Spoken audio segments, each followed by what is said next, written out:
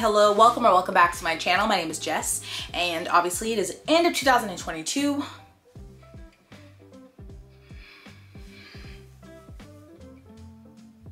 And so, um, as everyone else is, I have some books that I am anticipating for the new year.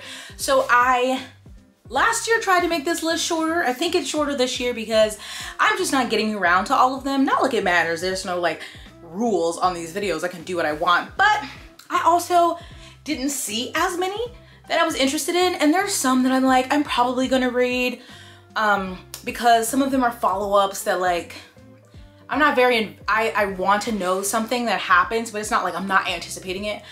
Like one is Hellbent by Leigh Bardugo. I'm going to read it. I'm gonna borrow it from the library though. Um, because I need to know what happens to a character, but like I'm not anticipating it. I'm just, it's gonna come out, I'm gonna read it to figure out and then I'm done. But there are other ones where I'm like very excited.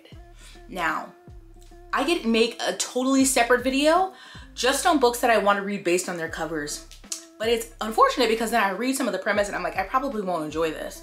But I want to read it because the cover is beautiful. So I might make that a separate video just for shits and giggles. Because I am a vain bitch and I love me a good cover. So let's be real, okay? I might end up buying some of those. But especially with the, this is sickening. This is sickening. Publishing and the covers, like, I'm never gonna be able, I'm never gonna be able to cancel these subscriptions that I have with FairyLoot and the Broken Binding because I'm not getting off this list. Like I, I kind of want to get on the Illumicrate list, but I don't know. Um, these special editions, like I'm like I need it. Book books are art, you know what I'm saying? And anyway, that's not the point. We are here to talk about books that come out in 2023 that I'm excited about reading. I have not read any of these. I'm not good at reading ARCs, which are advanced reader copies. Um, yeah, I'm not good at that. So I have not read any of these and these are not in order because I was too lazy to do that. I just wrote them down as I thought of them or saw them in someone's video. And so I just have a list. I don't even know how many are here. Uh, so if I am not lazy while editing, can't promise that, I will put the date that is supposed to be released here, but note that that could be changed because the world is still in a Pamplona, so who knows. Anyway, anyway, anyway, I have A Woman of the Sword by Anna Smith Spark. I'm trying to read my handwriting. I wrote these in actual pen, but then I got some water on it. So, you know, struggle. So I, the words I have here, because I am notoriously bad at not reading a full synopsis and then I'll get into the book and be like, hmm, I didn't know the book was about this. And then I'll be like, oh, I didn't read the whole synopsis and I would have known. But then sometimes you read the whole synopsis and it spoils something in the book. So it's like mm, very hit or miss for me. So I did try to read more of the synopsis when looking through these books. Maybe not the full thing though.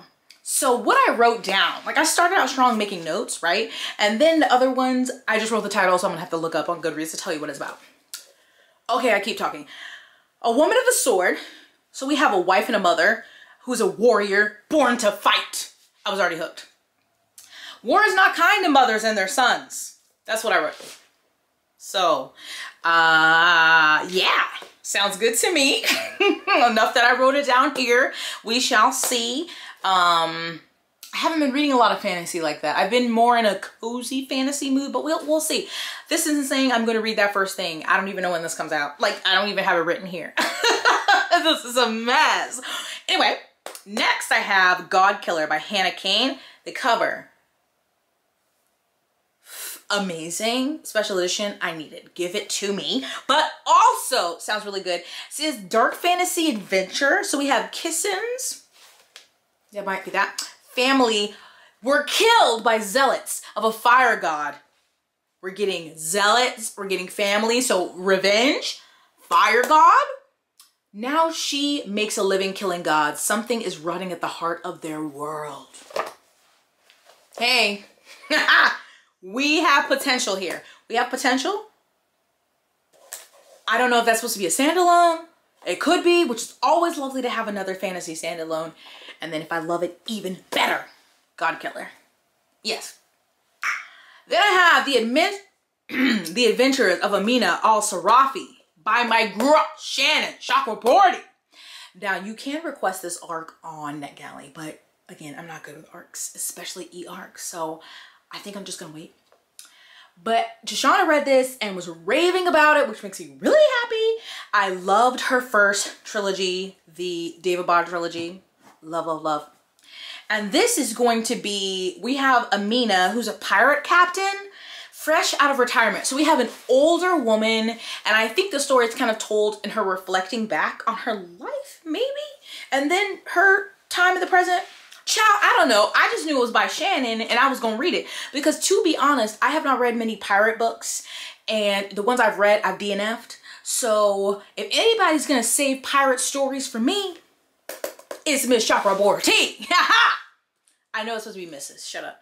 So yes, that. Also, Witch King by Martha Wells. Now, Martha Wells writes things, including the Murderbot Diaries, which I enjoy. Now, this one, now see, let me go to Goodreads because all I wrote was Goodreads quote. Thank you, Jessica. Um, but obviously it says something good and I was very interested in it.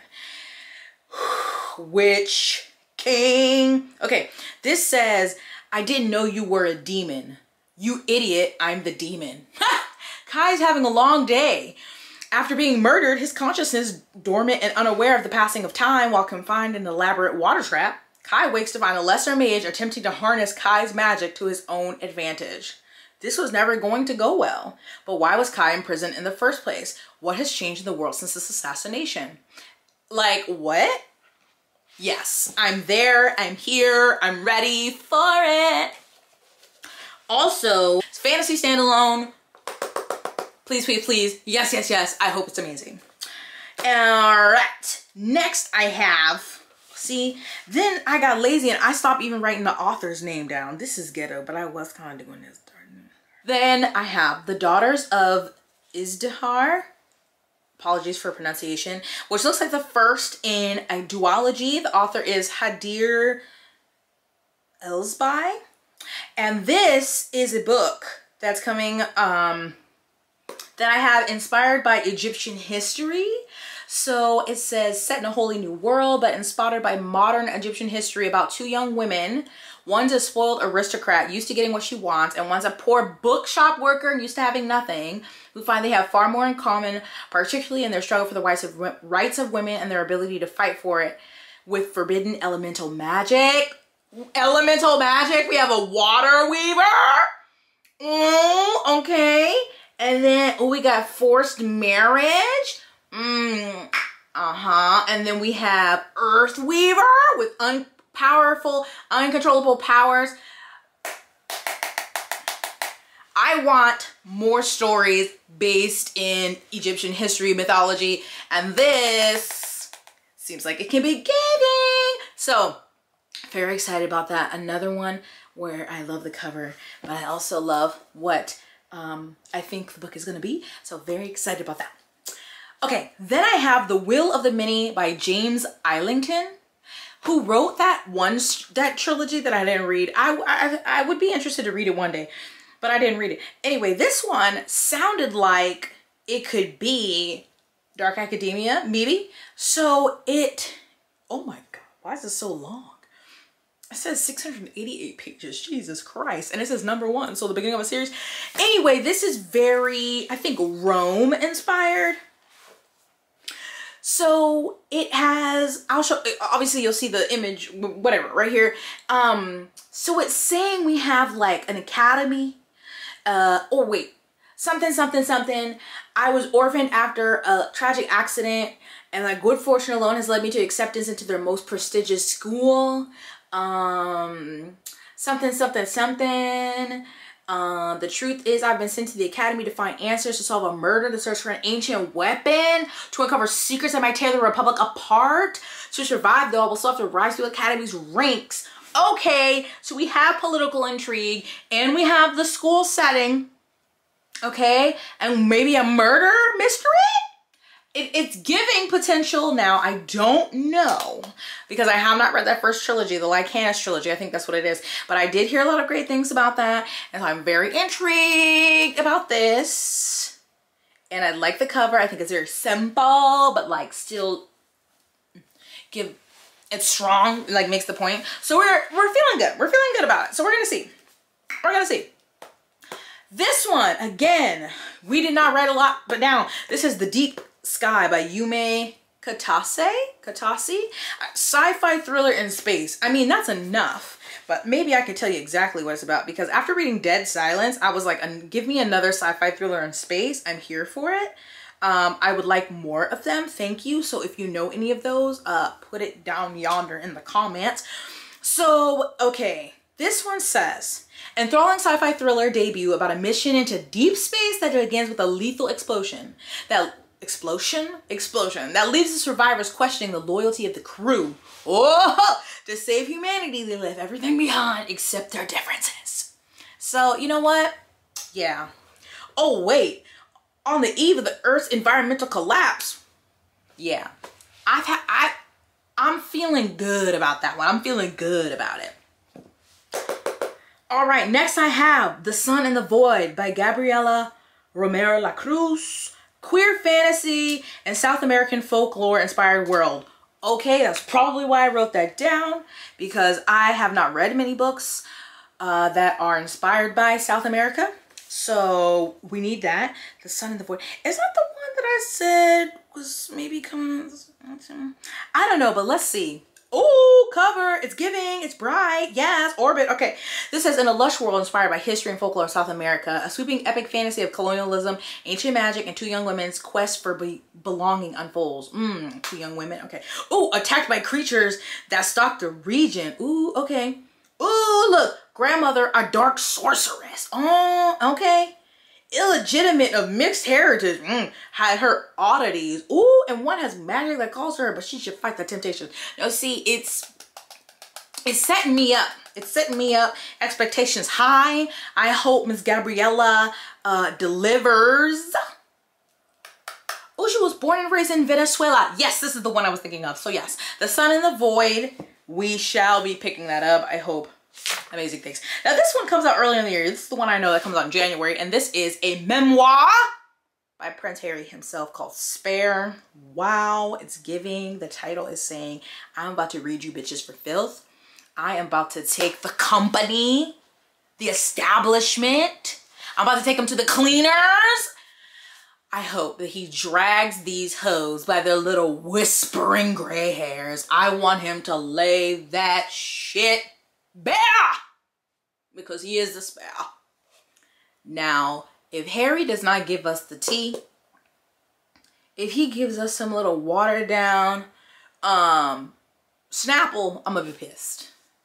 I'm gonna be pissed. I want that tea black and piping hot.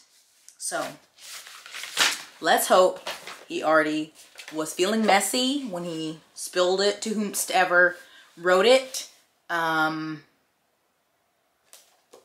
yeah, because I don't want no middle. I want, I want insults.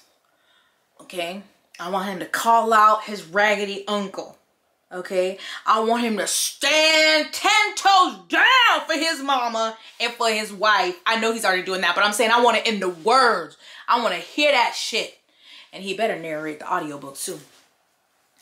Okay, then these two here I have that are, I think are coming out next year, but don't have a title or a date, and that would be the third Amari book. No, I have not read the second, Mind Your Business, Please. I think Amari is just a trilogy, cannot confirm. But I also have Stormlight 5 by Brandon Sanderson. Have I read three or four? No, shut up, mind your business. I have plans to, but I believe those are coming out next year, and I would like to get to them if they do. Okay, we're getting towards the end here. I have Untethered Sky by Fonda Lee. Now, Fonda Lee, you know, I do feel like I want to throw hands if I see her in public, but I'm not like writing her off as an author. So Untethered Sky is a novella coming from Tor.com next year. And it says an epic fantasy fable about the pursuit of an obsession at all costs Esther's family was torn apart when a manticore killed her mother and baby brother, leaving her with nothing but her father's painful silence and a single overwhelming need to kill the monsters that took her family. So really, it was on the strength of Fonda Lee, then this cover, and then what a manticore! Okay, I'm intrigued. Also, novella, we love to see it. So, that. Then, Angeline Boulley, whose book came out last year, her debut, which was Firekeeper's Daughter, which I loved, is writing another book and it's called Warrior Girl Unearthed. Warrior Girl Unearthed. All right, so another thrilling YA mystery that is about a native teen who must find a way to bring an ancestor home to her tribe. Hmm.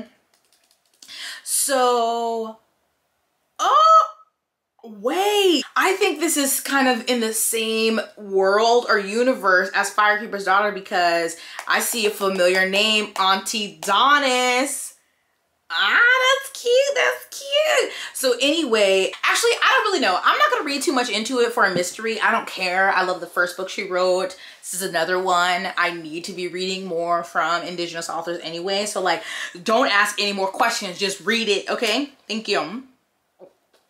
Also, one that I heard from Marines is I don't think I would have heard this really from anybody. But so years ago, I read the book Eliza and Her Monster Monsters by Francesca Zappia or Zappia. I'm, I'm not sure how that's pronounced. And I loved it. I loved it. I don't know if I read it today, if I would still feel the same way, but I loved it and I'm, I'm keeping that here close to me. So, um, and they do have other books and I've been meaning to read them and I just haven't. But then they also have a new one coming out and when I heard Marioness talk about it, I was like, wait, wait, wait. I want to read that one. So this one is called Greymist Fair.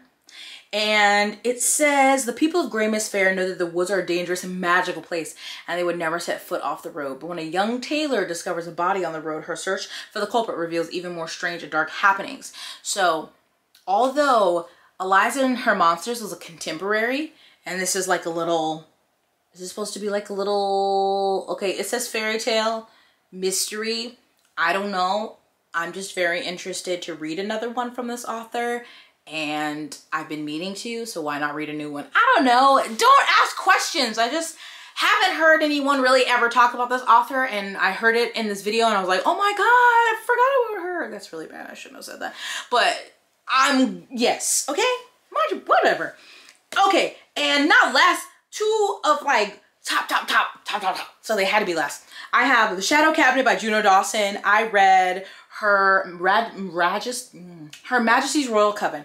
And I was very surprised at how much I actually enjoyed it. And then the fucking ending, the cliffhanger, the cliffhanger, the cliffhanger. Oh my God. I don't think this book comes out till like May or June or something, but it's on NetGalley and I'm almost of a mind to request it because I'm in the mood and I want to know what happens. But then that means if there, I don't know how many books are supposed to be in this series. That means if there's another cliffhanger, then I'm going to be dying for even longer. Juno Dawson, how, does anybody know her? Is anybody friends with her? Because I would like her to be my friend. So maybe, or at least a beta reader. So I could at least get the third one early. Cause like, I don't, I don't know. I have not wanted to like read a sequel this bad in a while. So I think while I'm feeling this, I should get on NetGalley and request that. Yes, I'm thinking I should do that. And last but certainly not least is Yellowface, I think, by R.F. Kuang. Well, I said I think, look. Yes, Yellowface by R.F. Kuang. I will say, I don't love the cover, but that's fine, that's fine. Um, I don't love the cover, but this one is, wow, who already... I know you not, whatever, you can kick rocks. Um, so this one is basically about, I think like a white woman who basically steals the work of an Asian woman and tries to publish it as her own. It's basically about, I think it's about appropriation, maybe kinda, and like also throwing shade at publishing, which is perfect because it is published by Harper um, under HarperCollins, who is being very trifling at the moment, and the HarperCollins Union is still on strike because the HarperCollins hasn't responded to any of their requests, which I think is bullshit. Anyway, I can link that down below if you want to know information about it and ways you can support it, sign their petition, and donate money, any of that. Link down below. Anyways, so very timely piece. As you should know, I love R.F. Kuang.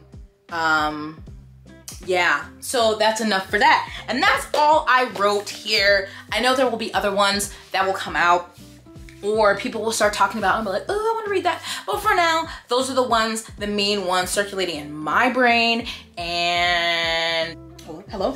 But i think that's it. So please tell me if you have any books that you think i would be interested in that are coming out next year. Particularly if you know books that are like Half a Soul, um, The Undertaking of Hart and Mercy, The Irregular Witches Society, I can't think of the whole title. If you know like little cute, cozy fantasies like that, can have a hint of romance, and you those are coming out next year, or if there's ones that were out recently and I don't know about them, please tell me below because I'm just in the mood for all of that. I just want to go to those books. So that's it for me. I'll list these books down below and I hope you stay blessed, hydrated, moisturized, and sunscreen. And I'll see you in my next one. Bye.